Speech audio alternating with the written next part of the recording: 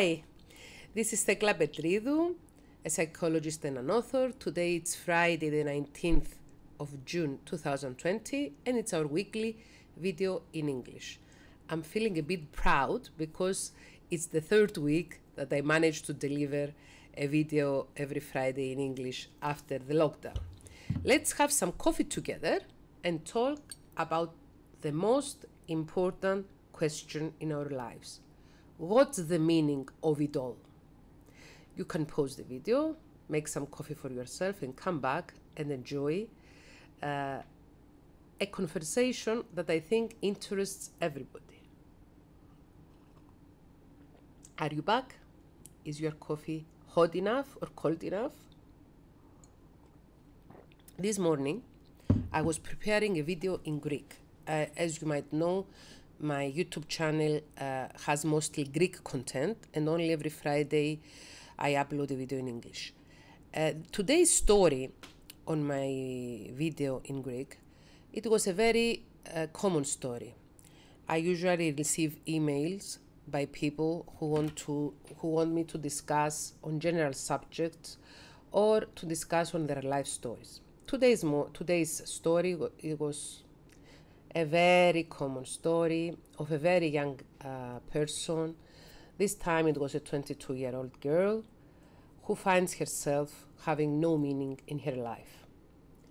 Um, call it depression, call it post traumatic stress disorder uh, coming out from a dysfunctional family, call it whatever you wish. Many people around us, and maybe us ourselves, find it difficult to conceive meaning in our lives. What's the meaning of it all? Why should we wake up in the morning?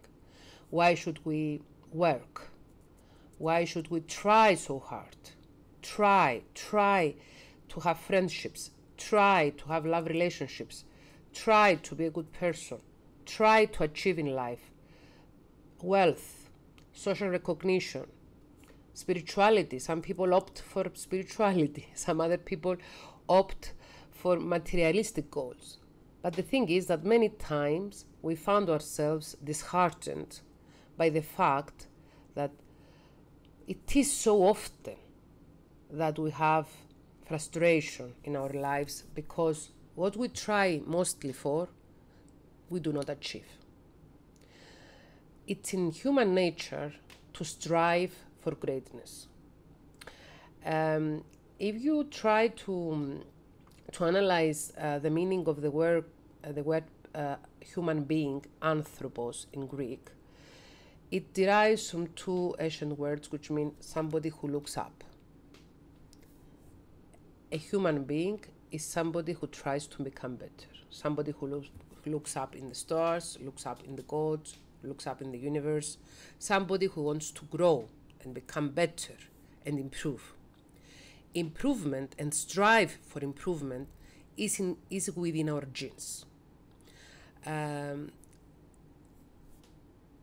and this is the reason for civilization, for culture, for arts, for everything, for science, for everything that human race have achieved. We have achieved so many things in so many areas.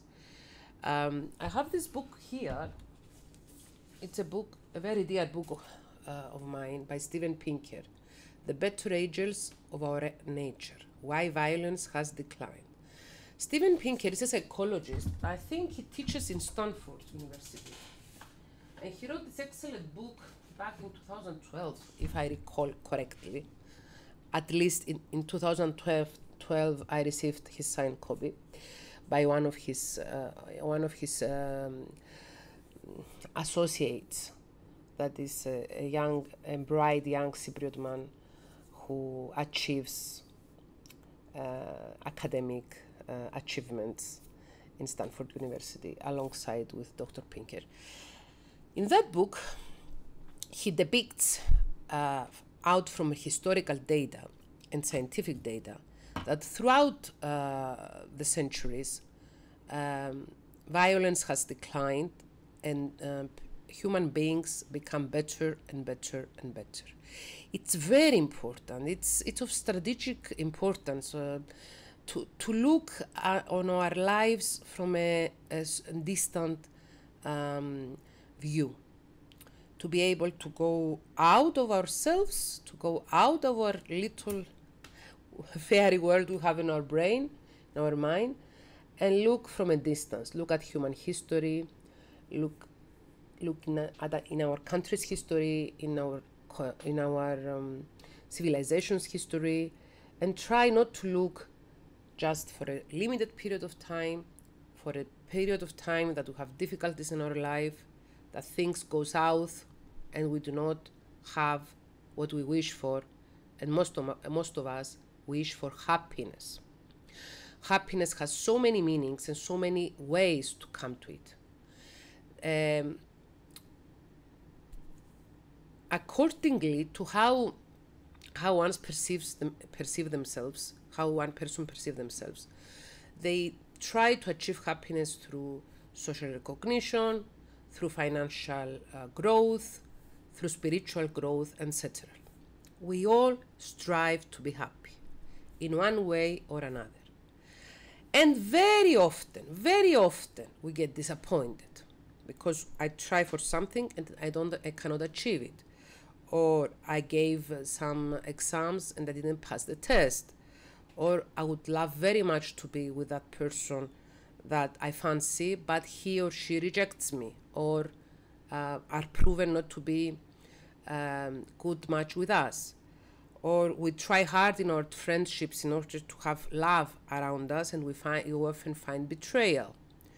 Or we we have children and we expect the best from motherhood or fatherhood and we realize the struggles the everyday struggles of becoming a parent etc etc what's the meaning of it all what's the meaning of trying so much of trying to improve our lives on trying to improve ourselves if we do not succeed every time?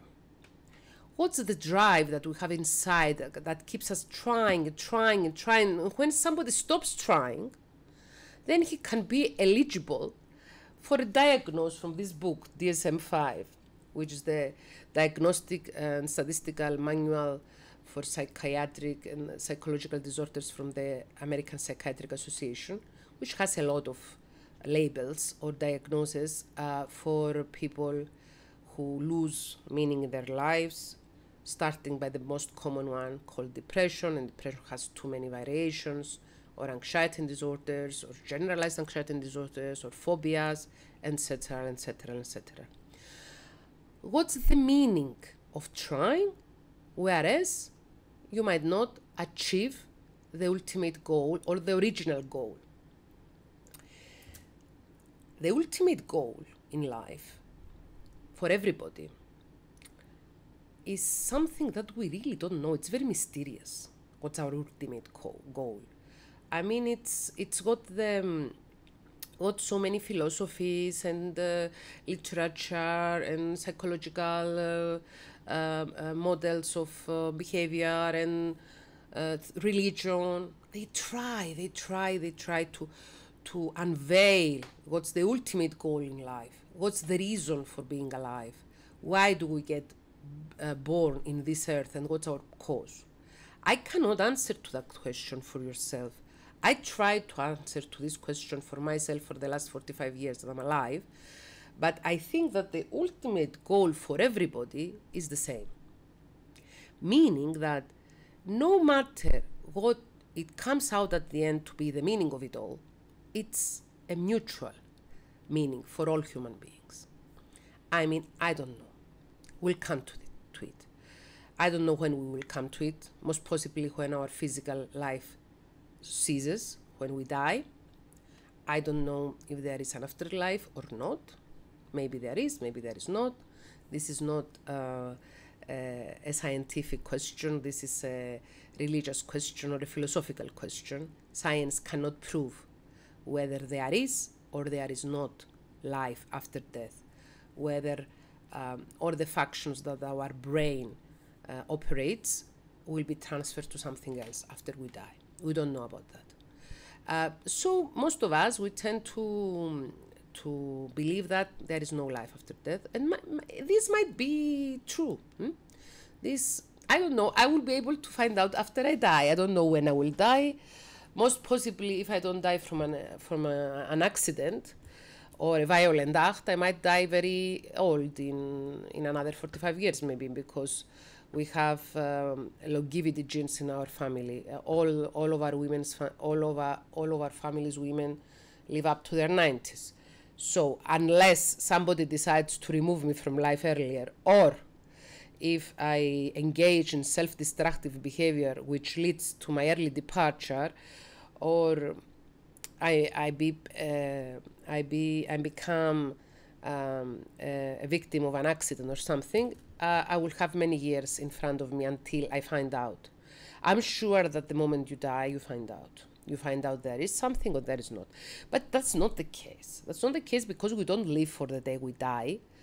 Uh, the, sa- the same as much as we don't live for the day we get born. I mean, being born and being eligible for death is two life certainties. We know for sure that we were born, and we know for sure that one day we'll die.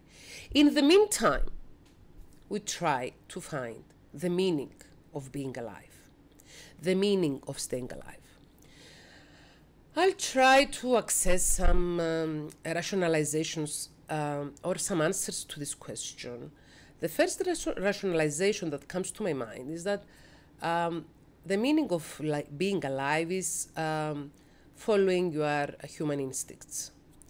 It was Sigmund Freud who pointed out as early as 150 years ago that there are two main forces who drive people in life. The first force is um, uh, a deep wish for life, and the second force is a deep wish for death. And the way Freud described it in his psychoanalytical uh, personality theory is that um, people who, are, who have me mental health, um, they have a much longer drive, a much uh, stronger drive for life than drive for death. And people who are depressed or have any other mental health issues, they might have more drive for death. And that's suicidal ideation, ideation and people who, who, who go to this point where they think about ending their own lives, which is, um, is I'm a psychologist, okay? which is a sign of uh, severe mental health disorder. I mean, somebody to wish to have uh, his life ended somebody who is young and healthy and prosperous, and they do not have any reason to finish their lives earlier. I mean, it's okay if you have a terminal uh, cancer patient who wishes to stop chemo and uh, die peacefully, then you do not talk about suicidal ideation. You talk about appreci- appreciation of the last minutes of life on earth. But if you have a young person who has um, a, a, stellar health, and they have a lot of um, natural life in front of them and they might think about ending their lives, then I'm a psychologist. I cannot, I cannot describe it in any, in any other words, me, I don't know about other people, then they have um, mental health issues and most probably um, and, uh, depression. And depression is a psychological disorder which also brings alteration in the way of thinking and you can be affected, your way of thinking and your rational way of thinking can be affected by a mood disorder, an affection disorder like depression. So, the first answer, why should we live? What's the meaning of it all? It's because it's written in our genes. It's inscribed in our genes that we are made for life and we are made for striving, for becoming better in life. A second reason might be What's the meaning of it all? The second question I would answer in a humorous way it's because obviously there is not so much meaning. There is a meaning in living in order to find an, an our, our own meaning.